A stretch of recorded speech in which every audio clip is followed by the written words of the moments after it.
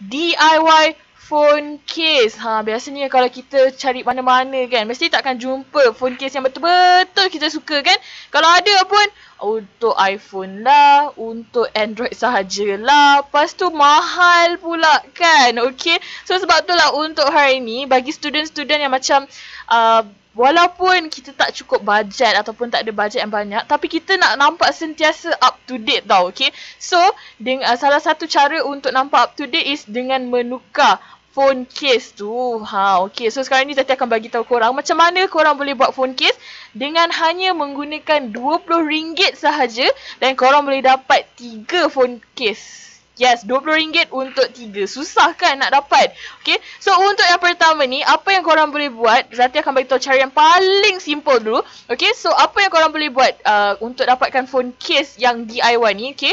First, korang hanya perlu beli um, clear ataupun transparent phone case dekat mana-mana kedai gadget sama ada dekat Ninja ke, dekat kedai Ustaz ke, even kadang-kadang dekat DIY pun boleh dapat tau ke, uh, apa phone case silikon tu. Tapi mostly kalau DIY tak silap Zati, mostly kebanyak uh, mostly is uh, untuk iPhone. Okay, so kalau korang yang pengguna Android tu, maybe korang boleh dapatkan uh, phone case transparent dekat kedai Ustaz sebab dia sangat-sangat murah. Korang boleh beli satu paket yang ada banyak dalam tu dengan harga tak silap zati bawah RM10 je. Okay? Ataupun korang mungkin boleh pergi dekat kedai Ninja ataupun mana-mana kedai gadget yang berhampiran dengan korang. Okay? So, apa yang korang perlu buat dengan phone case transparent tu ialah firstly, kalau Zati akan ajar korang macam mana korang nak buat doodle phone case. Okay? So, doodle ni macam yang korang tahu, dia macam lukis-lukis, uh, kartun ataupun karakter lukis doodle art lah kan. Okay? So, apa yang korang boleh buat is, korang ambil satu uh, transparent phone case korang tu.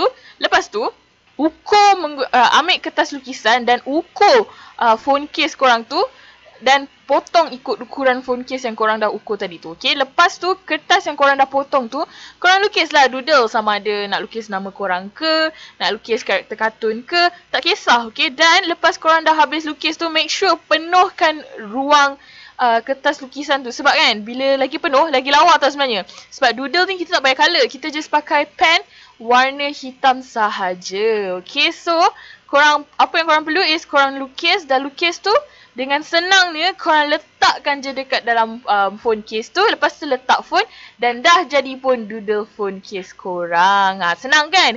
Ni lukis-lukis je. Yang kedua, kalau korang nak lukis-lukis juga tapi tak nak gunakan kertas lukisan pun boleh juga. Korang boleh gunakan Arclick pen. Okay, Arclick pen ni yang macam uh, pen yang lawa-lawa tu kan. Uh, kalau orang perempuan suka lah pen macam tu. Okay, so apa yang korang boleh buat dengan Arclick pen tu. Korang ambil satu uh, transparent phone, uh, transparent case phone korang. Okay, lepas tu make sure korang uh, sebelum korang lukiskan dekat atas transparent phone tu, korang lukiskan dulu dekat kertas so that nanti tak comot lah dekat atas phone case tu, okay? So, lepas dah lukis tu, korang boleh lukiskan dekat transparent phone case korang tu, lukis seikut yang korang nak. Ha, okay, tak kisahlah korang nak lukis macam mana pun, lukis je, okay? Lepas tu keringkan, Maybe kalau korang nak cepatkan kering, korang boleh pakai hair dryer ataupun kalau yang tak ada hair dryer tu, korang boleh biarkan selama beberapa minit. Bila dah kering, barulah korang boleh gunakan phone case tu. Ha, senang je kan? Okay, itu yang uh, kedua cara lukis. Ketiga cara lukisnya ialah, apa yang korang perlu buat is, korang um, tadi gunakan acrylic pen. Okay, so korang boleh lukis menggunakan marker marker, pen marker yang permanent okay, bukan yang 500 punya tu. Okay, so korang boleh gunakan um, permanent marker pen.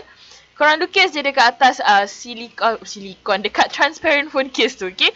So, senang lah. Okay, so uh, bila korang, contohnya kalau korang beli silikon, uh, silikon lagi. Kalau korang beli transparent phone case tu untuk macam korang beli kat satu kedai ni.